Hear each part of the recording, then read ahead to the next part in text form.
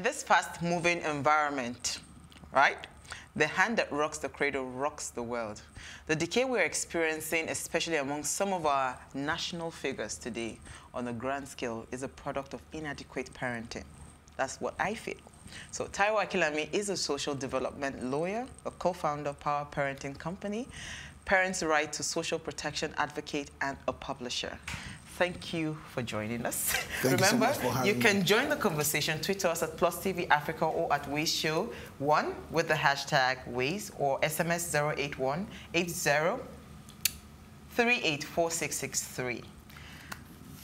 We are happy to have you. Thank you so much for having me. It's my, it's my duty to be here. Oh, it's a duty. Thank nice. you. I think I'll go first with All the right. question. Thank you very much, Mr. Akinlami, for joining us. Thank you so much. So I was going through your blog. You have a blog, right? Yes. And your last article, interesting, you um, wrote about parents' rights are children's rights. Yes. And in that article, you suggested that um, parents it's unfair to blame, to expect parents to be entirely responsible for raising children, yeah. and then the nation actually has a role to play, yes. e almost equal to the parents' role yeah. in raising great children. Yes. And when I read that, I thought, okay, that's interesting because I sort of take responsibility. Like if I, if my child turns out bad, I'm not going to think, oh, the nation was not um, enabling, not create an enabling environment. I just think it was my responsibility. So could you just shed more light on what okay. you were okay. referring to? Okay, let me start by saying that um, there's no nation on earth where the responsibility of raising children is that solely of the parents, not, not any serious nation. Hmm. Every nation of the future focuses on the children. The nations that are going nowhere focus, focus on nobody. They just focus on themselves. What shall we eat? What shall we drink? By what shall we be clothed? Now, this, the point is this. At a point in Iceland, young people were misbehaving big time. They were on drugs. They were involved in a whole lot of vices. So the government wanted to know why were children misbehaving? So they started a research. The research found that the children that were misbehaving were the children whose parents did not spend much time with. So the government started a scheme spend one more hour with your child, you get a certain amount. Really? Spend more hour with your child, you get a certain amount. Within a short period. So incentivizing. Yes. Basically. Within a short period, that tide changed because parents were able to spend time with their children. Now, there are four institutions responsible for raising children. The first one is the family. The second one is the community. The third one is the state. The fourth one is the international community. Now, you don't you don't bank much on it on the international community because at the level of the international community is a matter of interest. The same international community that moved into Egypt within a short time and brought down Mubarak, went to Libya and brought down Gaddafi. For the past five years or six years, they've not been not be able to do anything in Syria because of the interests of China and, and uh, Russia. So uh, you don't depend too much on the international community. So you focus on the community. You focus on the family. What is the role of the family traditionally? The role of the family is to inculcate positive value system in their children, right? What is the role of the community? The role of the community is to support the family. So in the community, you have the media. In the community, you have the neighbors. In the community, you have the schools. In the community, you have the mosque. In the community, you have the church. In the community, you have the traditional institutions. Those are their community because they are closer to the people. Then you now have the state. The state, the responsibility of the state is to provide what we call social protection, food, uh, social amenities, shelter, education. Now, chapter two of the Constitution of Nigeria says every child has a right to free education to university level. That's chapter two. Hmm. Every child has a right to health care yes. from cradle. Every child has a right to shelter and all of that. Now, but what do we have today? So the point I'm trying to make is this, that until, so when you talk about nation building, nation building is annexing material resources, yeah human resources most importantly. Because yes. in singapore there's no human there's no natural resources in terms of oil and all of that. and and that nation has demonstrated something. They moved from the third world to first world in 30 years. Yeah. Are you getting it? Yeah. so it's possible. So that we're a third world country is a matter of choice. So if you go to america you say america 200 years ago that's where they got their independence. So we, we are still toddlers. Singapore is younger than us. Are we together? And today, they are a first, they are a first world country because Lee Kuan Yew, God bless them with a man called Lee Kuan Yew, and Lee Kuan Yew focused on human capacity development. So the point I'm making is this: at the end of the day, until as a nation, we begin to take serious the support for parents. Is it because my position today is that children's right, parents' rights are children's right. The same way teachers' rights are children's right. If you if you if you if you if you if you if you if you pay peanut, you hire monkeys. And so we cannot we cannot continue to say um, uh, so trainers today gather parents together. We tell them what they should do. They take responsibility for education, take responsibility for all of that.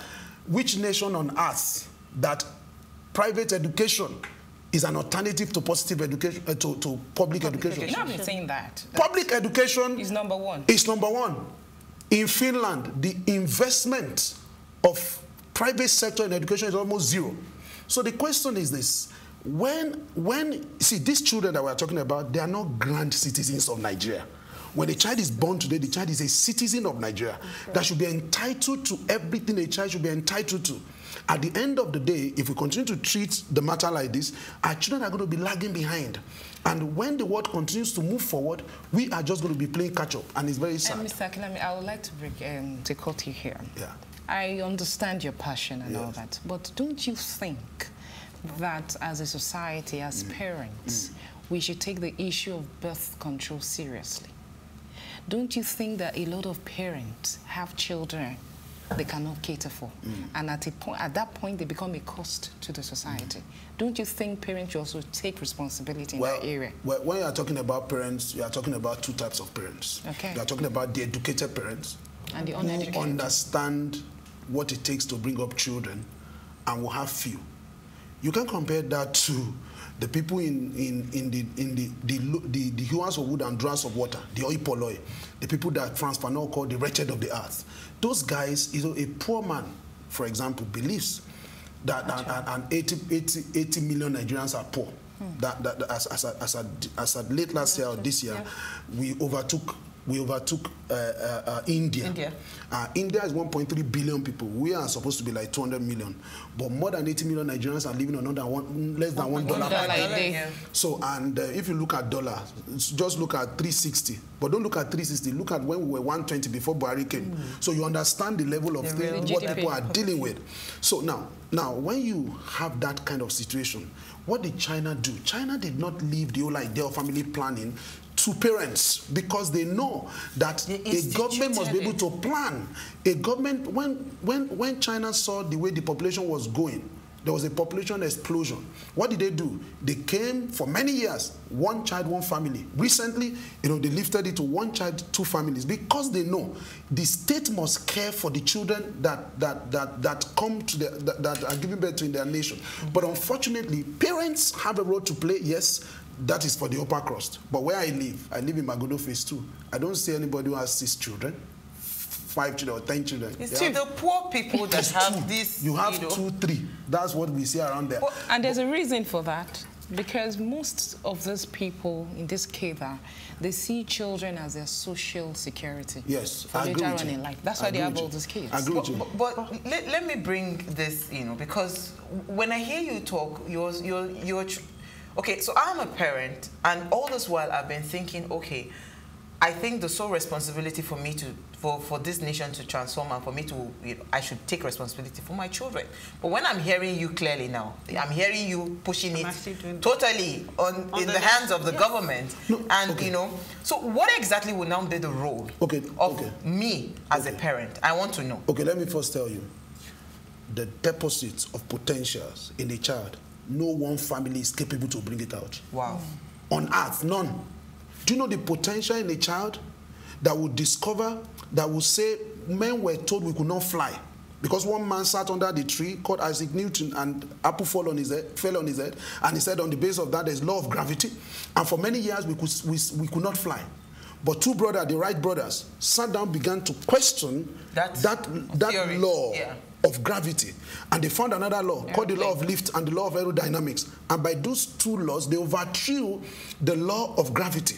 Anytime I'm, I fly, I, remember, I, I remember the marvel brothers. at the level of. Now, there was a time we were writing on stone, and the two brothers came called the Biro Brothers, and they were the one who invented ball pen. The point I'm making is this if you look at societies that are making a difference, they look they are there are plug-in systems that children can plug into that families can plug into.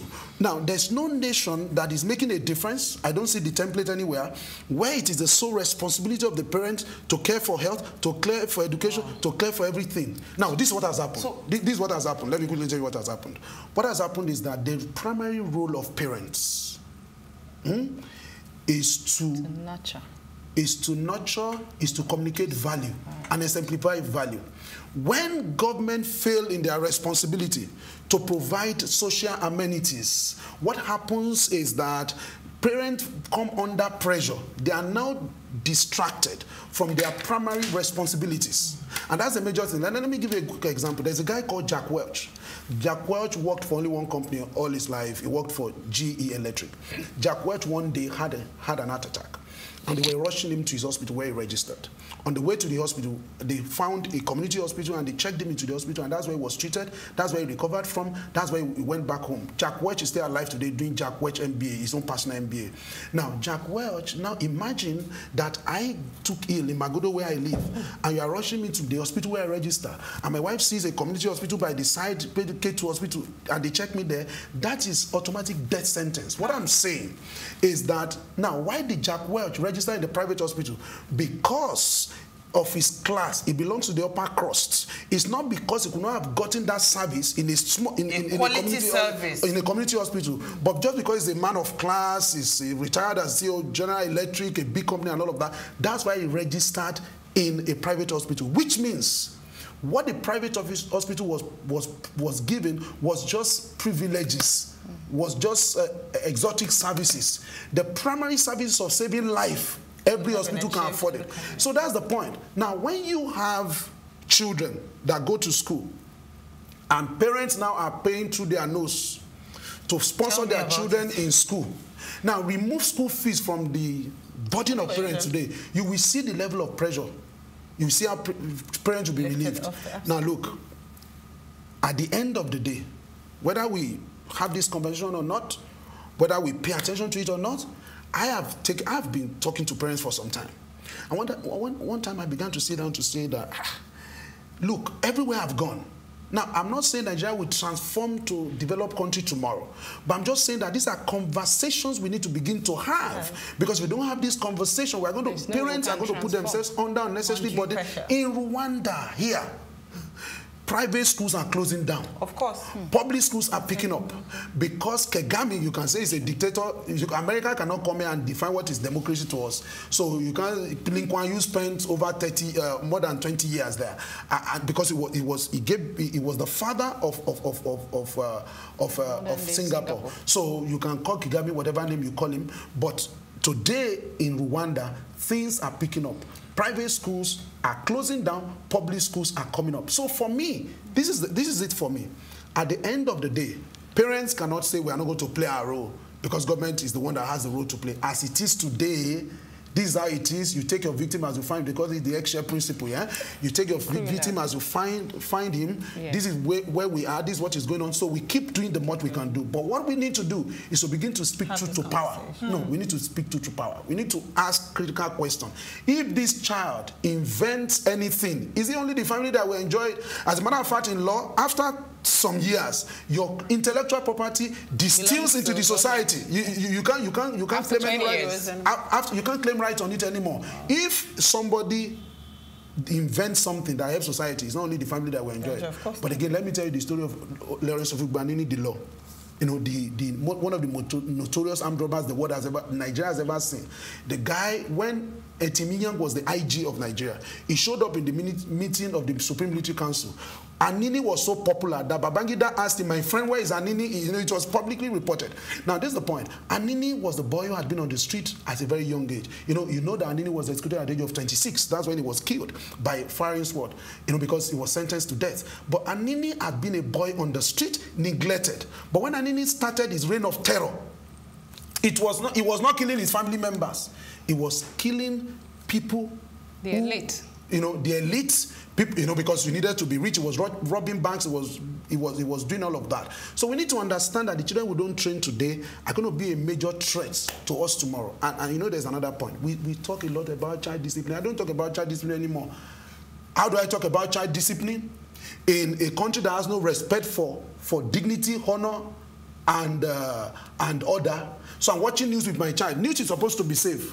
I'm watching news. As I was watching news, I saw some, my, my child is with me, six-year-old, and he see me. He said, Daddy, who are these guys? I said, these guys are honorable. Hmm. We want to change the narrative for our children, right? He said, these guys are honorable. He said, what does it mean to be an honorable? These guys are the people making law. Daddy, what is the purpose of law? Order order so that it can be order in the society. And this is the poaching. And as that is going on, he says, these chambers they are walking into, what? I said, that's the hallowed chamber. He said, what does it mean to be hallowed, Daddy? I said, it means that it's a place where there is dignity, there's honor, there's respect. You know, don't you see when we read the Bible, we say, hallowed be your name. I said, hallowed chambers, that's where they are going. And they get in there. My son is saying, ah, Daddy, I want to be a senator too. This thing is interesting. These are honorable people. No sooner that they get into the place, as they are there, one man just walks in and takes the mace. And everybody is running after him. And my son is asking, consequence. And my, and my son is asking, Daddy, ah, that boy said, ah, what am I going to say? Am I going to say is play, is joke? and there are no consequences. After. There's no consequences. That's that's, you know the, that's the sad because on this because of the side the man is into. This topic we really cannot exhaust we it. Can't. But I want to ask a, a question. Because I see a lot of people. Because when you're saying that at, as it is now, what where we are at yes. right now, we need to take ownership, right? Yes. We need to do what is right. So yes. do you think the people that are sojourning out of Nigeria, because everybody, I asked this question yesterday when we, had, we, we were mm. talking about education mm. and nation building. Mm.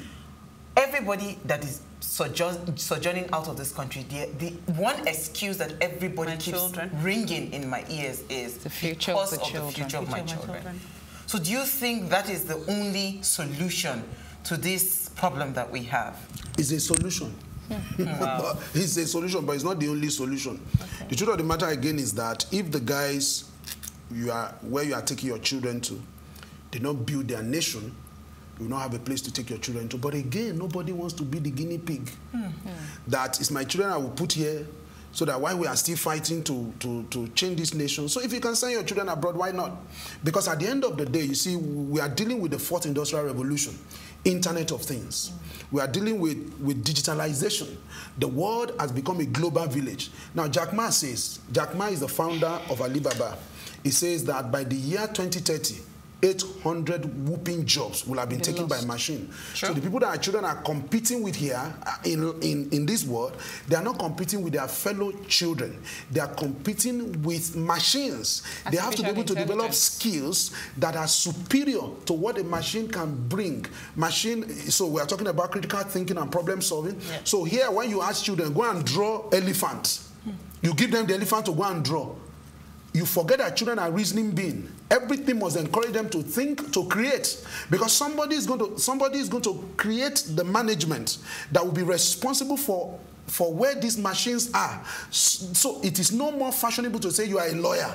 It's no more fashionable to say you are a doctor. In few years to come, when you enter the consulting room, you are going to be seeing machine. They are more accurate. They don't they don't get sick. They don't go on leave. Everything is being digitalized. Human beings are being de-emphasized. The only human being that will make a difference are the human beings that are able to think and create. So the question is, the kind of education we are receiving in Nigeria today, even the best of schools, they say asking children to go and be drawing elephant, asking children to, to draw fish and to label. draw fish and label it. No, when that's not the best of school. When when when, when, when no, no, you see this is the problem with, with, with the education in Nigeria. Mm. Yeah? So if you bring British curriculum, right? Right. Yes. You bring Finnish curriculum. Right. You bring Afghanistan curriculum. Yes. Curriculum now you now give it to somebody who grew up in Nigeria. Mm -hmm. You forget that in Finland, their Ministry of Education is Ministry of Education and Culture. There's a culture behind curriculum. Those who develop curriculum are trying to communicate something to their children about their because culture. about their culture. Today you say when before in Nigeria, Nigeria used to be good. People used to greet. People used to do all of this. I said, see what now happened If you say people used to greet, mm. people used to be cultured in Nigeria, now they are no more cultured. What happened? It means there's a problem with communicating the culture. That's a problem. Because if you say before, people used to greet, people used to respect all of these things. Why are they not respected anymore? It means we have failed in transferring That's that culture. culture that we said was working. And how did we transfer it? We transfer it by beating children, Kenny, by shouting. It's interesting. And it doesn't work. Kenny does not work. It does not work. Doesn't work. Mm. Thank you very much, Mr. Kilami. so, in fact, I, I, mean, I'm now thinking of my children's school, and it's interesting. Some things you mentioned actually, you know, came to mind. So, at my kids' school, they're teaching them about money, and they use the British curriculum, mm. and trying to teach them the different aspects of money. We don't have the denominations that will help them actually comprehend it, so mm. they have to refer to the British coins. Mm. And because we don't have, you, you've not seen a coin in Nigeria, right? Mm. So I, I, hear what you're saying. There's a culture behind it. They have um, the resources to back and parents, parents are parents are customers in private school. Customers are always right. Wow. Customers right. must ask questions. All right. So if customers ask questions, customers must be responded to. Very true. All right. Thank you so much. So, um, in a nutshell, I'll just summarize some of the things that, you, that have come out uh, to me today. So, one is that no one family is able to maximize the deposit in a child. It's not possible. The nation has a key role to play. There are four um, institutions, the family, the community, the states, and the international, the international community. And finally, the children we don't train today will end up hunting us tomorrow. Very much. Very well. I think I learned a lot. I'm, I'm, I'm speechless today. But let's and just remind um, our, for our quote for today. It says, at the end of the day, um, the most overwhelming key to success, the child's success, is positive involvement of the parent. And you, um, uh, um, Mr. Kilami mentioned you nurture, you communicate value, and you said you exemplify value, which is what um, uh, Oge had also said. You must be the example that you want to Children you, know, you want understand your instruction. Yes. Children understand your example before they understand your, your instruction. instruction. So thank you so much. We have to bring you back. You have to promise us on live TV that you'll come I'll back. be back. to discuss particularly yes. child rights. And, and education as well. I'm thank available. you so much. Yeah, thank, thank you so much. It's been a very, very insightful um, conversation. Remember to catch us tomorrow live again at 8 p.m. as we bring thought-provoking and engaging conversations your way. And um, have a lovely evening. Bye.